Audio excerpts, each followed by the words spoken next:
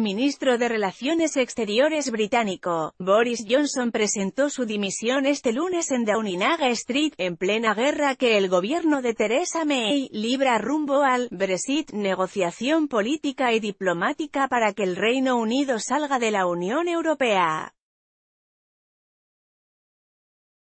Esta tarde, la primera ministra aceptó la renuncia de Johnson como ministro de Exteriores. Su sustituto se anunciará en breve, dijo la oficina de Theresa May en un comunicado.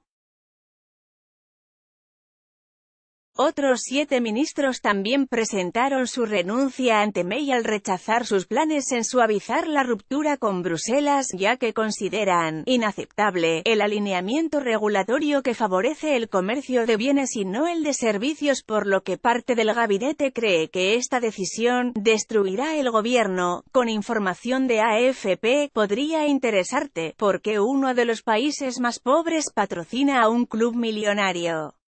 Vasectomía gratuita para desempleados, la propuesta de un diputado británico Fernando Castillo articulista internacional.